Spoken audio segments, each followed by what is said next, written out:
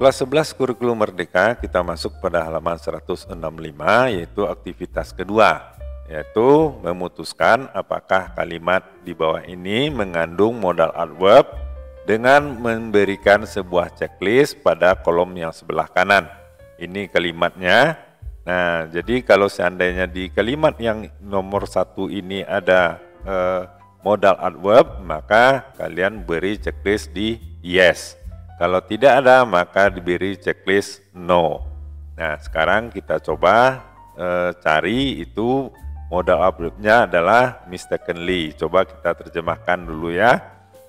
Banyak dari kita secara salah menghubungkan kekurang berkurangnya berat badan dengan e, berbagai macam diet.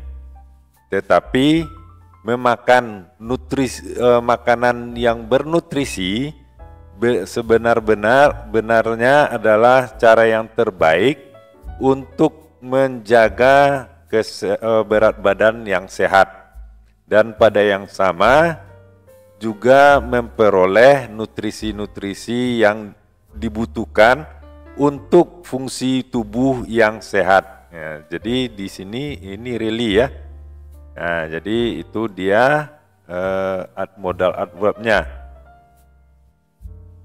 Hmm, kemudian nomor dua Sistem kekebalan tubuh kita membutuhkan vitamin dan mineral esensial untuk berfungsi secara optimal. Nah, di sini optimal ya.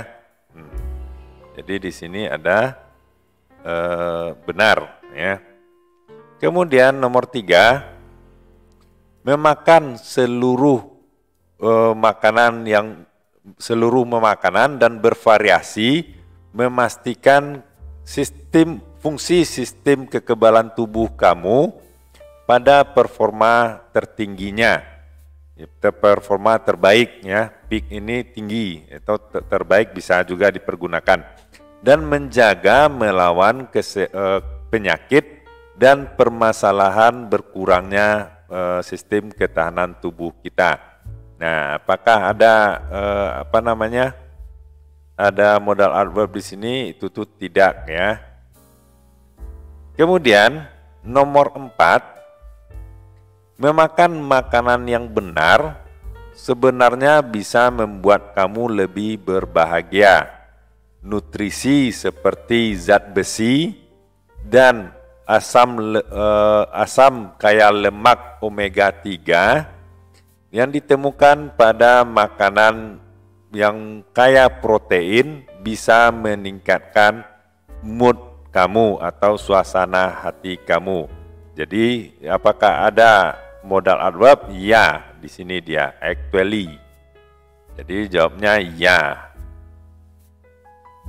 Kemudian nomor lima,